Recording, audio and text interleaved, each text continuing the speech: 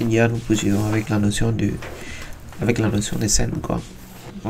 Bon, comme je vous l'avais dit plus tôt, euh, avec scène, le seul souci que nous avons, c'est que nous n'avons pas de retour d'information. Pourquoi est-ce que le, la transaction n'a pas été effectuée? Nous devons reconfigurer cela nous-mêmes, quoi. Contrairement à déposer. Bon, nous allons déployer notre contrat.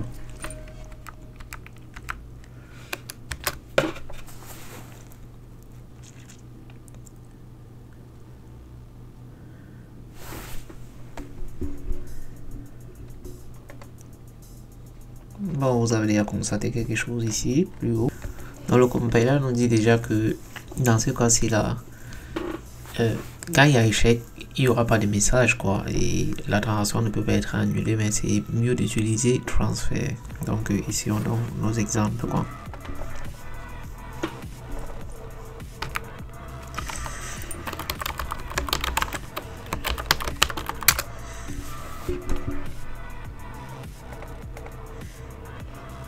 Ok, donc nous installons dans notre programme.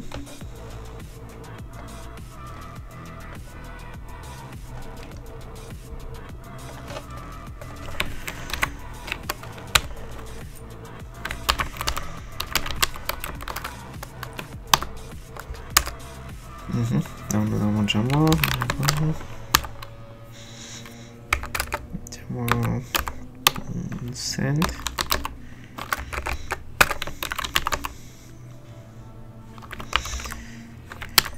Ok.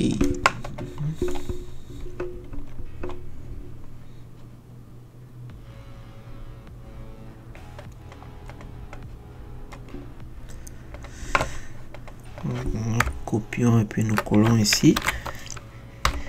Et puis nous revenons en.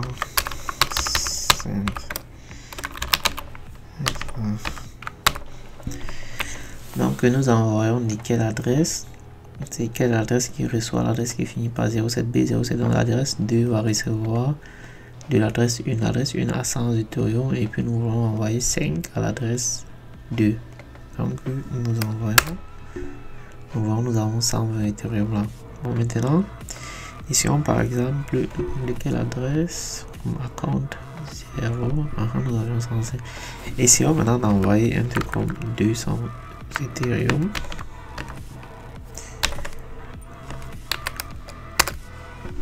Qu'est-ce que nous constatons? Nous recevons quand même une erreur ici. C'est doesn't have enough money. Donc c'est contradictoire ce que nous avons dit, mais ça c'est le, le, le, comment j'appelle ça, le compiler, le compilateur qui nous voir ce message là. Si nous étions peut-être euh, parce que c'est pas toujours le compiler, le compiler ce que nous allons utiliser quoi. Si nous sommes dans un autre environnement, nous allons juste avoir un false qui va suivre ce que la, documentation nous dit quoi. Si la repo utilise la méthode SM, c'est mieux d'utiliser Lucaya pour gérer les erreurs quoi. Donc euh, c'était un peu ça qu'il fallait savoir sur scène quoi. Donc euh, voilà, ça nous retourne quand même la transaction ne s'effectue pas, mais en principe ici nous devons juste avoir un faux quoi comme raison. Ok bon. Euh, nous allons donc continuer avec la notion de message sender. Et voilà, dans la prochaine leçon. Merci.